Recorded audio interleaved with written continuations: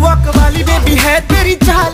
Backless suit ਵਿੱਚ ਲੱਗਦੀ ਕਮਾਲ। ਉਹ ਕਿੱਥੇ ਚਲੀ ਜਾਂਦੀ ਏ? ਉਹ ਕਿੱਥੇ ਚਲੀ ਜਾਂਦੀ ਏ? ਮੈਨੂੰ ਪੁੱਛਣਾ ਹੈ ਇੱਕੋ ਹੀ ਸਵਾਲ। ਉਹ ਦੱਸ ਦੇ ਕੁਵਾਰੀਆਂ ਆ ਕਿਸੇ ਦੇ ਤੂੰ ਨਾਲ। ਕਿਉਂ ਦੂਰੋਂ ਦੂਰੋਂ ਜਾਨੀ ਏ? ਜਾਨ ਕੱਢ ਜਾਨੀ ਏ।